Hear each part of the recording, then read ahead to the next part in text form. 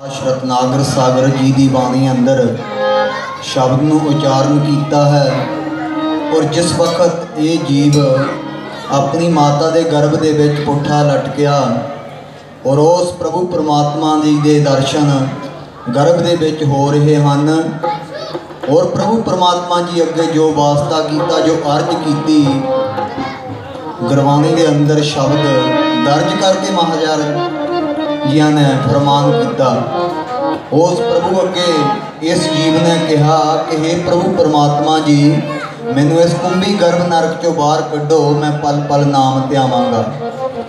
ਜਿਸ ਵੇਲੇ ਮਾਤਾ ਦੇ ਗਰਭ ਚੋਂ ਬਾਹਰ ਆਇਆ, ਗੁਰਬਾਣੀ ਅੰਦਰ ਸਤਿਗੁਰੂ ਸਵਾਮੀ ਜੀ ਮਹਾਰਾਜ ਜੀ ਨੇ ਉਚਾਰਨ ਕੀਤਾ ਹੈ ਕਿ ਉੱਥੋਂ ਮੁੱਠੀਆਂ ਮੀਟ ਕੇ ਲਿਆਇਆ ਸੀ ਖੁੱਲੀ ਮੁੱਠ ਤਾਂ ਗੁਰੂ ਵਰਸਾਇਆ। ਹੁਣ ਭੁੱਲਿਆ ਕਰਾਰ ਮੁੜ ਲਈ, ਨਾ ਤੂੰ ਆ ਕੇ ਸਾਰ, ਆ ਕੇ ਵਿੱਚ ਸੰਸਾਰ। ਹੁਣ ਕੌਣ ਤੁਰ ਕਰੂ ਤੇਰੀ ਕਾਰੀ ਧੰਦਿਆਂ ਦੇ ਵਿੱਚ ਲੱਗ ਕੇ, ਤੇਰੀ ਉਮਰ ਬੀਤ ਗਈ ਸਾਰੀ। ਸੋ ਸਾਡੀ ਜੋ ਉਮਰ ਹੈ, ਦਿਨੋਂ ਦਿਨ ਬੀਤਦੀ ਜਾ ਰਹੀ ਹੈ, ਦਿਨੋਂ ਦਿਨ ਸਾਡੇ ਜੋ ਸਵਾਸਾਂ ਦੀ ਪੂੰਜੀ ਹੈ, ਉਹ ਖਤਮ ਹੁੰਦੀ ਜਾ ਰਹੀ ਹੈ। ਸੋ ਅਸੀਂ ਇਸ ਮਾਤ ਲੋਕ ਦੇ ਵਿੱਚ ਆਏ ਹਾਂ, ਗੁਰੂ ਜੀ ਦੀ ਸ਼ਬਦ ਦੀ ਕਮਾਈ ਕਰਨ। ਸੋ ਗੁਰਬਾਣੀ ਅੰਦਰ ਸਤਿਗੁਰੂ ਮਹਾਰਾਜ ਜੀ ਨੇ ਦੱਸਿਆ, ਜੋ ਗੁਰੂ ਰਵਿਦਾਸ ਮਹਾਰਾਜ ਜੀ ਦਾ ਸ਼ਬਦ ਹੈ ਕਿ ਸੋਹੰਗ ਸੋਹੰਗ ਜਪ ਲੈ, ਸੋਹੰਗ ਸੋਹੰਗ ਜਾਪ, ਸੋਹੰਗ ਸੋਹੰਗ ਜਪਦਿਆਂ ਲੱਭ ਲੈਵੇਂਗੇ ਨੇ ਆਪ। ਉਹ ਪ੍ਰਭੂ ਪਰਮਾਤਮਾ ਸ਼ਬਦ ਦੀ ਕਮਾਈ ਕਰਨ ਵਾਲਿਆਂ ਨੂੰ ਆਪ ਲੱਭ ਲੈਂਦਾ ਹੈ।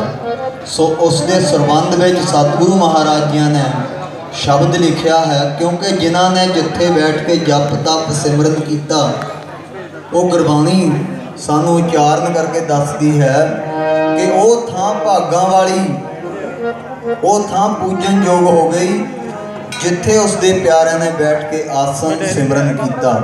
ਜਿਸ ਤਰ੍ਹਾਂ ਗੁਰੂ ਪਿਆਰੀ ਸਾਧ ਸੰਗਤ ਜੀ ਆਪ ਜੀ ਦਾ ਇਹ ਸਾਹਿਬ ਸ੍ਰੀ ਗੁਰੂ ਰਵਿਦਾਸ ਮਹਾਰਾਜ ਜੀ ਦਾ ਦਰ ਦਰਬਾਰ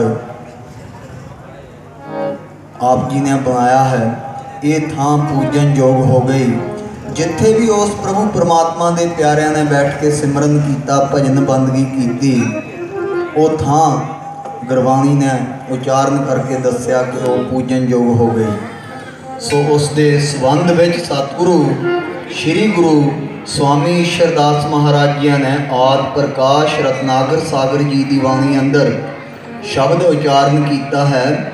ਕਿ ਸਹੀ ਧਰਤੀ ਸੁਹਾਵੀ ਹੋਵੇ, ਸਤਿਗੁਰੂ ਆਸਣ ਲਾਏਗੀ, ਬਲ ਬਲ ਜਾਵਾਂ ਕਿਸ ਧਰਤੀ ਨੂੰ ਜਿੱਥੇ ਸਤਿਗੁਰੂ ਆਏਗੀ। ਸੋ ਉਸ ਸ਼ਬਦ ਨੂੰ ਆਪ ਨੂੰ ਸਰਬਨ ਕਰਵਾਉਣਾ ਹੈ। ਇੱਕ ਮਨ ਇੱਕ ਚਿੱਤ ਹੋ ਕੇ ਸ਼ਬਦ ਨੂੰ